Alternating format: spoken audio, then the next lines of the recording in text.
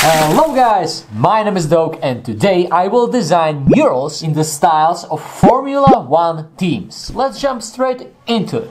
I picked uh, my favorite teams and right now we can start with the numero uno. Yep, no surprise. My favorite team is Ferrari. And right now let's pretend that they asked me to paint a mural for them. But the question is where? What wall? Would you believe that this is the entrance to the Ferrari? I mean, this looks like every single entrance to industrial areas over here in Slovakia.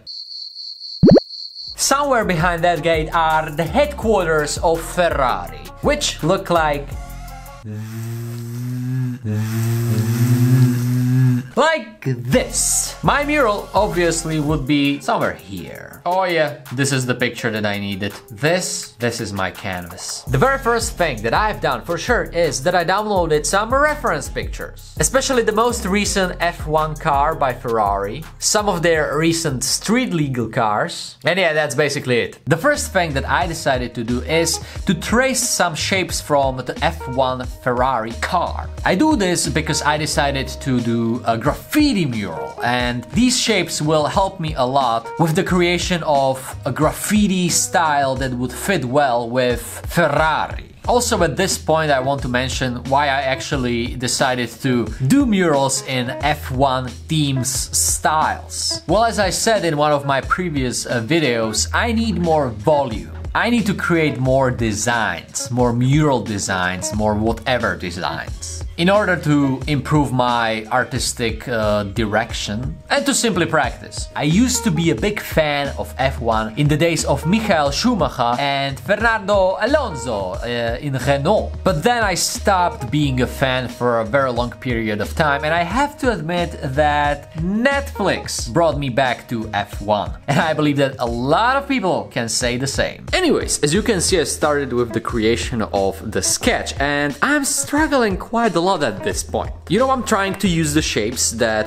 I traced, and at the same time, I'm trying to use the logo of Ferrari as guidelines. And I'm constantly getting into trouble because, you know, the F1 car has a certain flow. And I'm basically trying to combine the F1 car flow with the shapes and the Ferrari logo, which lacks any flow, basically. It's very straightforward. And so I finished the first sketch and as I'm looking at it, I'm just not really feeling it. I love the F, but the rest is kinda messy. So I decided to use this sketch as guidelines and start over with a new sketch. And this helps me a lot because in the first sketch, I already solved a lot of problems. And right now I am solving the rest of the problems. I'm still trying to stick with the shapes, but I try to give it a little bit more flow. And so I finished the second sketch and when I compare it with the first one, I see big improvement. This looks a lot better, but I've already put a few hours into this and there is still a lot of work ahead of me. So I'm starting with the colors and I'm thinking, crazy or saddle? Ferrari is known for being more saddle than, for example, Lamborghini. They even sued some of their customers for doing crazy things with their cars. So saddled colors it is. First of all, I tried this black and yellow combination, which looks great in my opinion, but there is this one problem. I can barely read the letters, so have to fix this somehow. And the change is pretty big. I exchanged black for chrome, because this is another color that Ferrari uses, and I totally get rid of the 3D. But without the 3D, I needed something what will make the sketch pop.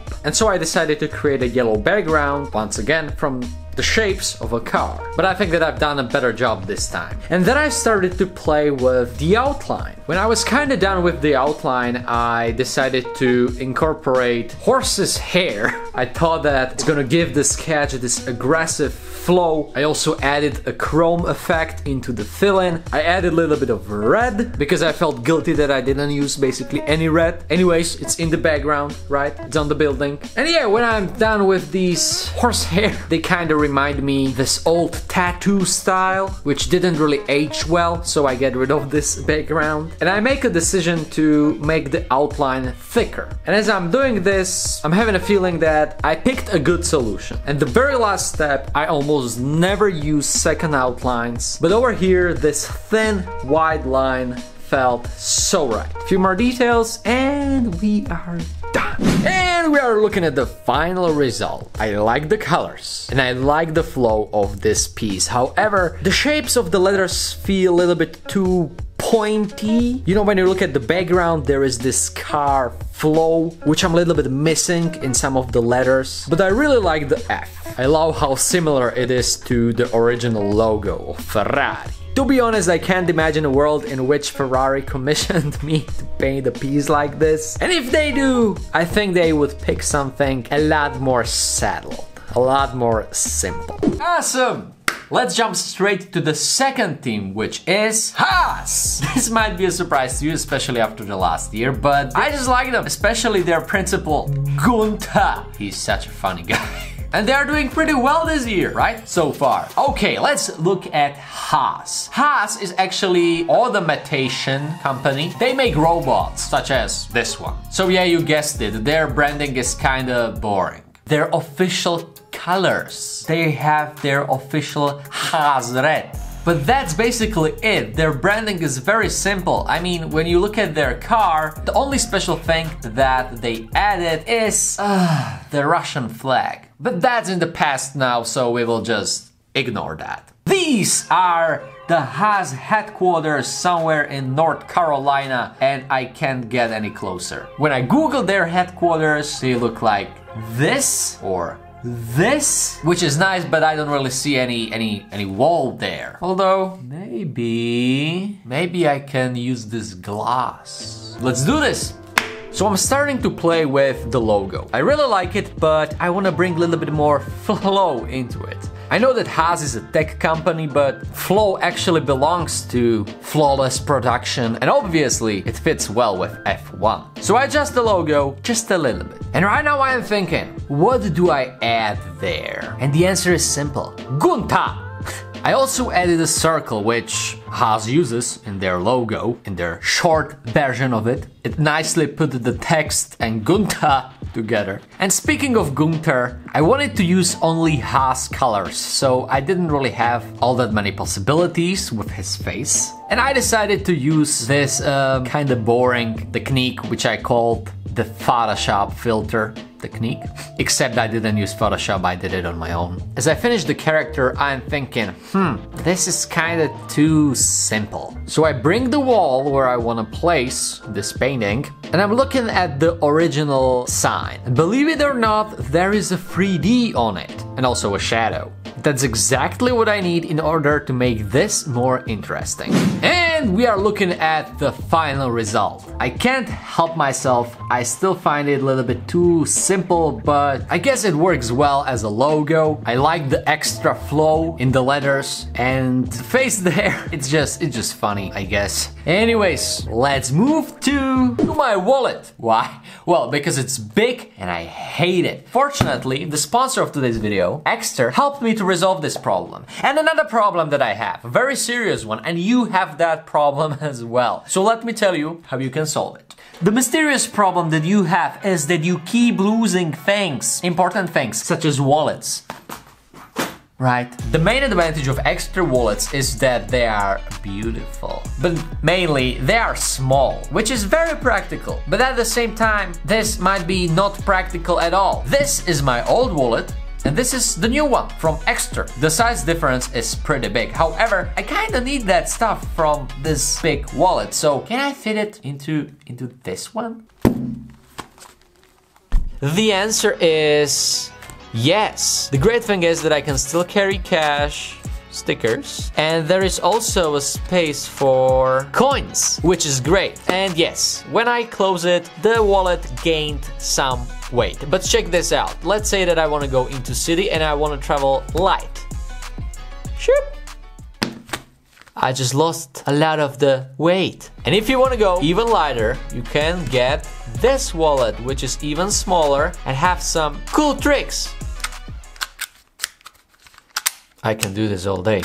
The thing that I like the most is this card which solves your big losing problem. I bet there were times when you wanted to call your wallet, well, right now you can. Hmm? If you would like to get wallets like this, there is a link in the description below that will take you straight to their shop. They have some great sales at the moment. And thanks a lot to Ekster for sponsoring of this video. And now we can move to another team, which is McLaren. You thought that it's gonna be Mercedes. Nah, it's McLaren. And as I'm looking at their website, there is one thing I know for sure. I'll use orange like a lot of orange. Also, they use this uh, light blue, this one. I'll use that as well. So McLaren is a very old team, but they not only race in Formula One, they also produce cars very expensive and beautiful cars. So we might consider that as well. If we want to talk about their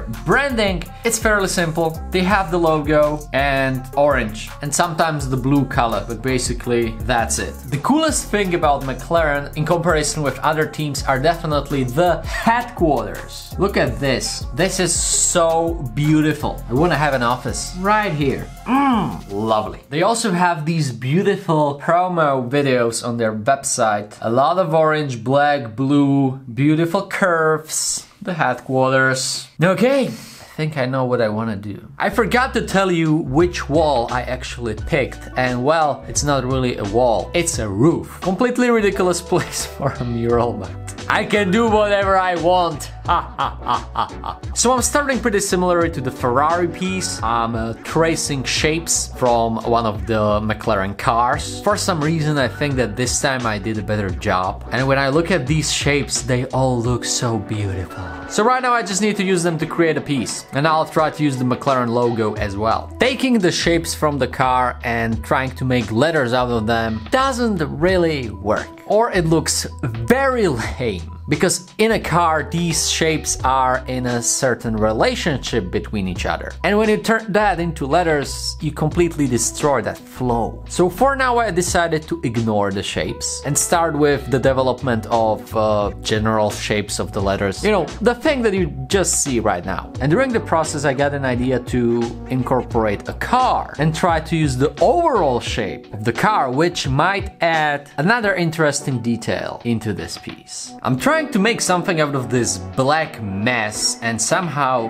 it it works. And as I continue doing this, you know, using the shapes from the car, somehow this is working and I love it because these shapes are great. They work and the sketch feels really fresh to me. And as I'm getting to the end of the sketching process, I just love it. I edit 3D and right now comes an important question. What do I do next? For sure, I will use the color combination of McLaren that I mentioned previously. However, I think about my awesome roof idea and I give it up. I don't really want to place this artwork to some some wall. Well, maybe I could do that later. But at the moment I want to be focused just on the painting and I really love this reference picture from their their promo video with all these neon lights. Yep, that's the direction that I want to follow.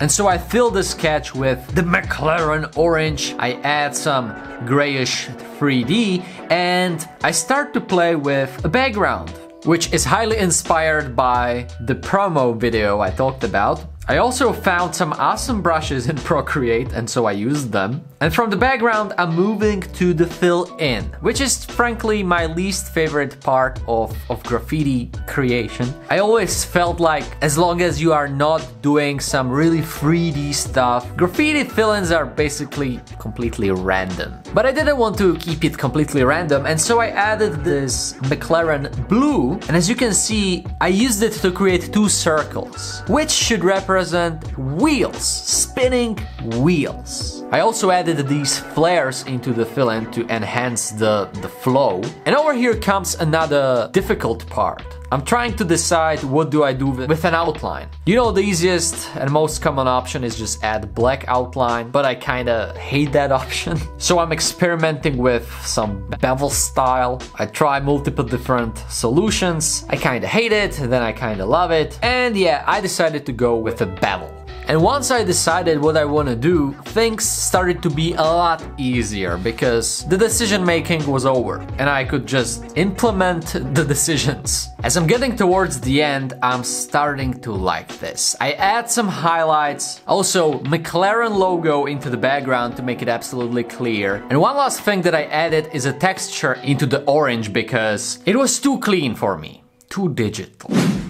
Alrighty, guys, the creation of this video took me quite a lot of time, four days actually, which is quite a lot for a digital video, but this is exactly what I need. Sketching a lot, trying things. Yeah, I'm feeling very good about this, especially about the last piece that I painted. And before I show it to you, let me just say that I hope you enjoyed this video just as I did. If yes, thumb up would be awesome. Don't forget to check out Ekster Wallets.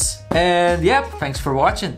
This is the final McLaren piece. When I compare it with the Ferrari one, this one is probably better. Yeah, it's definitely better. You know, I tried to fit the Ferrari painting to the building, but over here, I didn't want to care about that. I just wanted to make a nice piece, and as you can see, it doesn't really fit to the roof of McLaren building. But I really like the overall idea. I love that the shapes are based on the car. I love that the overall shape of the piece is based on a car. There is the logo, there are the colors. The hole in the letter A even represents a window. I really, really like this. And I hope that you like it too. See you in the next one. You are still here, huh? Waiting for the Red Bull painting. I know, I know. I didn't do Red Bull because I've already done that on a wall. Boom! See, this is what I did like a few months ago. Hell yeah. So now you are satisfied.